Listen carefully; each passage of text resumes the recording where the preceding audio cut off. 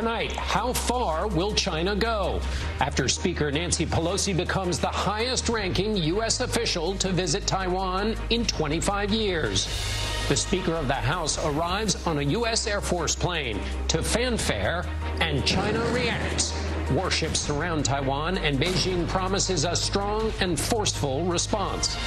The planning behind a strike on a balcony in Afghanistan that killed Al Qaeda's leader. New details tonight about how the U.S. tracked down one of the masterminds of 9 11 helping America's veterans.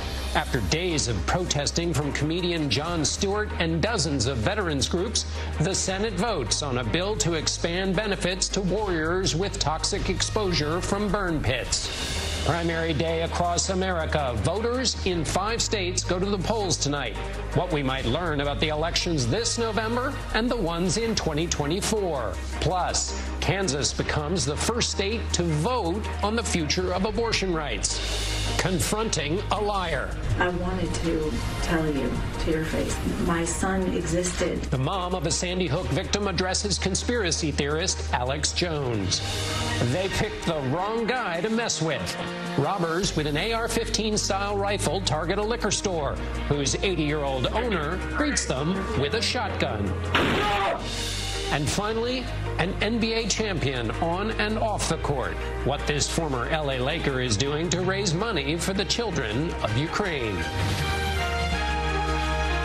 This is the CBS Evening News with Norah O'Donnell, reporting from the nation's capital. Good evening, and thank you for joining us. I'm John Dickerson in for Norah. Tonight, U.S. China tensions increase after House Speaker Nancy Pelosi's arrival in Taiwan the highest ranking American official in 25 years to visit the self ruled island that Beijing claims as its own. Pelosi was greeted on the tarmac at Taipei's International Airport by Taiwan's foreign minister and other Taiwanese and American government officials. In a statement upon arriving, Pelosi said the visit honors America's unwavering commitment to supporting Taiwan's vibrant democracy. China responded to the visit by putting its military on high alert and announcing a series of military demonstrations in the waters off Taiwan. CBS's Nancy Cordes starts us off. The guessing game about Pelosi's plans ended with this late night touchdown in Taipei.